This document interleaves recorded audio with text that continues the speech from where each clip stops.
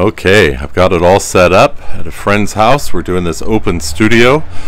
There are, are pop up studios all over the South Bay today and next weekend. And uh, this is something that happens right here Silicon Valley Open Studios.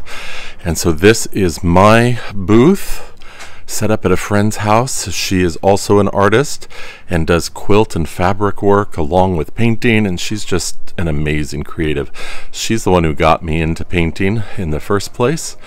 She heard me say, Someday I want to, and she said, Well, then let's do it now. And, uh, and she started it all. I am so grateful to her. So, in any case, you come in and you see, let me back up again.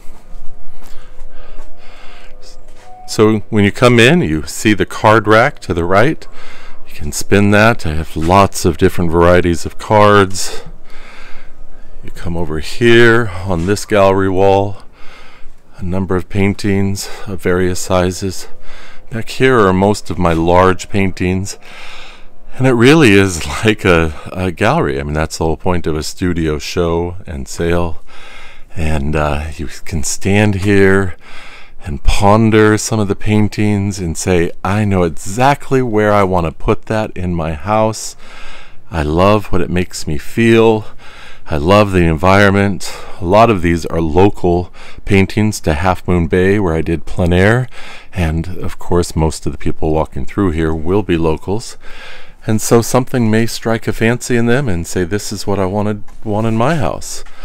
And then you come around and there's yet another wall of images.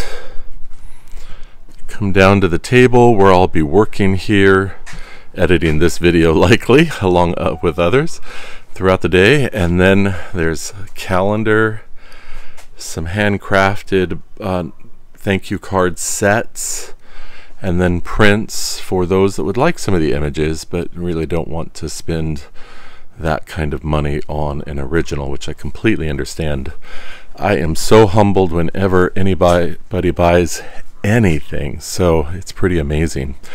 Let me go in and share with you a little bit of Laura's work. It's beautiful, and maybe she'll let me introduce you to her. Okay, Laura has her work set up inside. Right now, she's showing her quilting and fabric collage work during the pandemic in particular, she just went crazy making quilts all the time. But she's been doing this for years, uh, the fabric collages. And she also, as I said, paints and just does any any so much type of art. It's just amazing. Cold wax and oils and different things.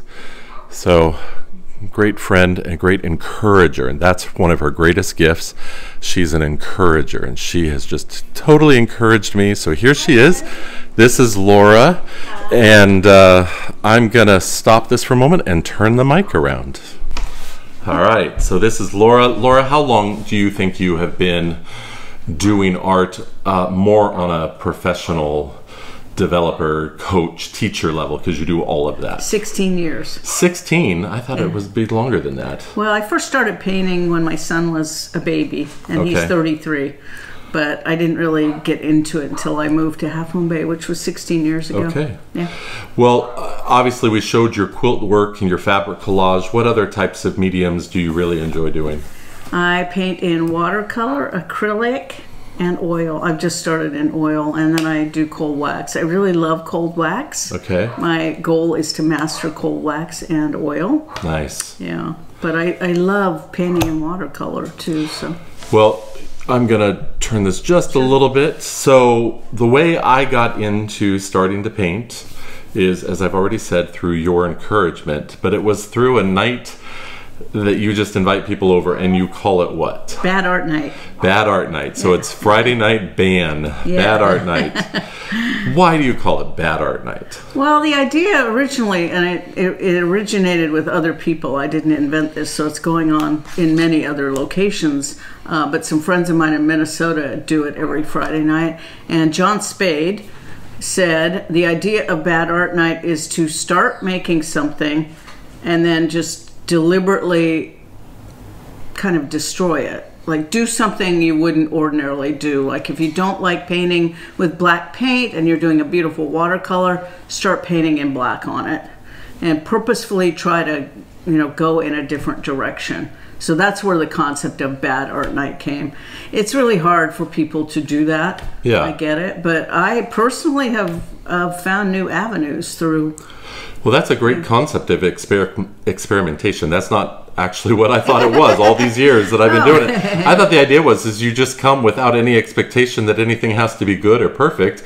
If you come expecting that you're going to make bad art, then you're you're just playing and experimenting, which is That too. that's Yeah. a little broader, but similar Yeah, to what you said, is you too. just try and you experiment without any built up expectations that every time I do something it's got to be a masterpiece. Yeah, yeah, and I will say, you know, in the past two years since COVID, and we haven't really been able to do Batter Yeah. at Night. It doesn't really work through Zoom. No. uh, really, the big component for me is it's about the the peer relationships and getting everybody together, having some tea, uh, seeing what other people are working on. Sometimes we work on a group project together. Um, it's just the camaraderie is I miss it so much. Yeah, I'm yeah. so anxious for I do to too. I to can't wait till we can start doing it again. Yeah. We can physically distance in your house. Yes. I think most of us are vaccinated, so we can make something We work. have visitors.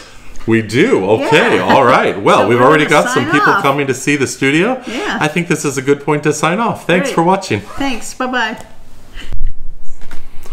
Well, thank you for watching this. I hope you enjoyed it and that you will um, just see what it takes to build a booth and set up an art show for a pop up uh, event.